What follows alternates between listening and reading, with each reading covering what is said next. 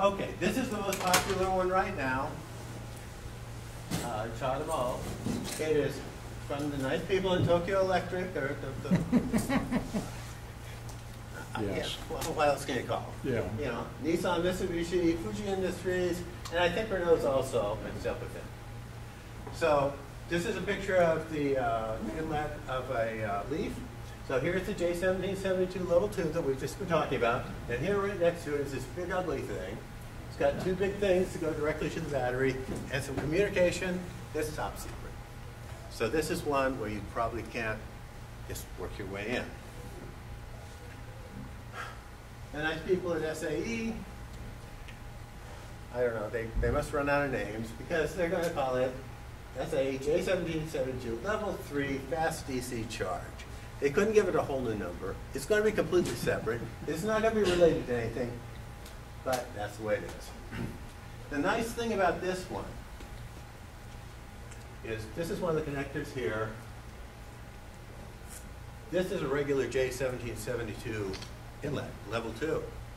So you can pop that right in anywhere. You can, you, well, you can see it right over there on the other side. But then down below it, there's this extra little bump with the two battery terminals and two extra terminals for some extra signal communication. One connector all of a sudden is doing two different tasks. It's, it's one common piece. Um, there's, prob- there's still a third one. There's a third system that's used in Europe uh, that allows uh, uh, high power charging with DC or three-phase power, but it's losing ground really fast.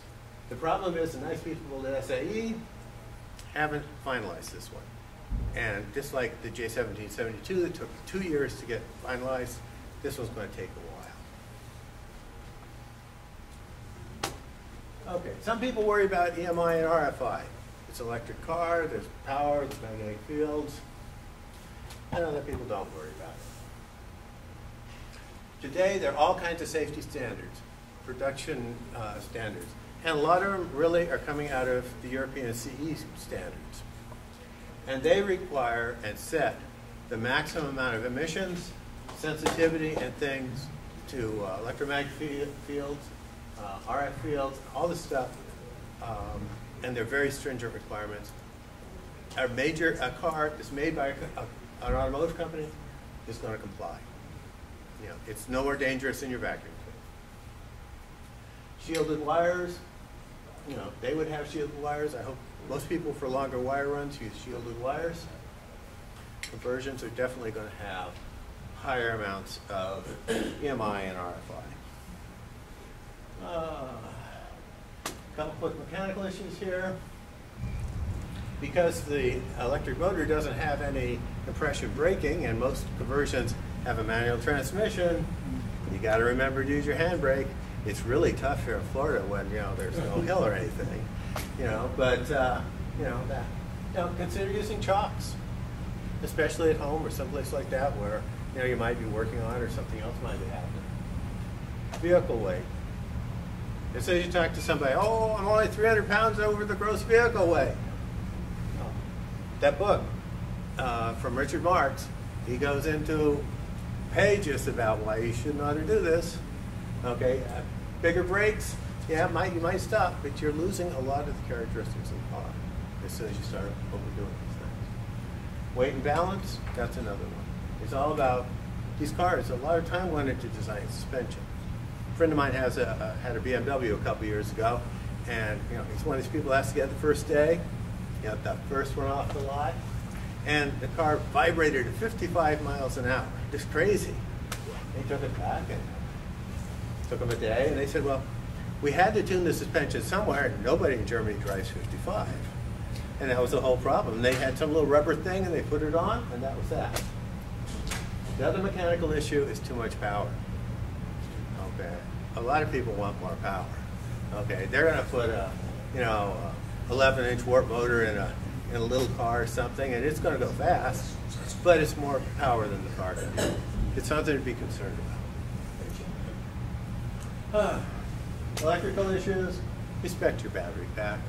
You know, you might feel comfortable with it, but it still is dangerous.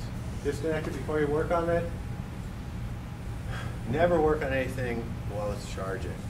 a lot of chargers, probably most chargers, aren't isolated from the power line.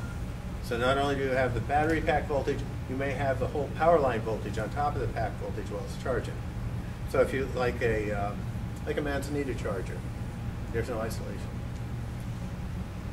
Um, insulate your tool holes. We saw all those batteries out there. If you drop a wrench in there, not only going to lose a wrench, you're probably going to lose a couple batteries in a couple weeks of time. Long sleeve shirts are not real popular here in South Florida, but and, and even just those blue work gloves, those uh, the nitrile ones, it's all going to make you a little bit safer. And please never work alone. Uh, you know, you hear stories about the things that happen and the people that get stuck and everything else. Uh, charging stations and EVs. Um, I don't know where that is. Um, you know, if you're going to go use one, look it over for damage. Look over the cable before you, you made it, because everything's off until you made it. You know, if it's not working, if something's damaged, try to find someone to advise, be it the city, be it the, somebody in the store, the mall. Maybe they're not going to do anything, but at least you try. Um, unplug your car and move it when you're done. I know some places there's a, you know, you can't unplug somebody else's car and things like that. Um, you know. And then there's always the question about what about that ICE car sitting in the spot? Anyway, I think you got to get more cars and more people who can get upset. Probably someone else, you know, but it isn't as calm as us. We need some of those people to get out there and, and get it for us. And what about unmarked uh, 120 volt outlets? You know, if you find one someplace, you really should find somebody to ask. If it's not labeled for EV charging, you really should ask, can I plug in here? Can I use your electricity? It's just kind of a, a you know, a polite thing to do. Um, when you when you're at your charging station, this one looks kind of goofy to me. I don't know where I got this picture because it looks like there's no place to park. but anyway, make sure that when you put your cable here, you put it someplace where it's obvious, somebody's not going to trip over it, you know, and it, it make sure it's laying on the ground and things like that. When you're done, put the cable back. It's just kind of nice, you know, for the people who are there. Um, you know, everybody's concerned. The biggest concern that people I've talked to about having EVSEs on their property is people tripping over the cable. They don't worry about electricity. They're, they'd like the customers. They're worried about the cable. So if we can put it back, if we can be, you know, you know, good EV people, put it back, try to help them reduce that risk, I think that's going to be great. And use them.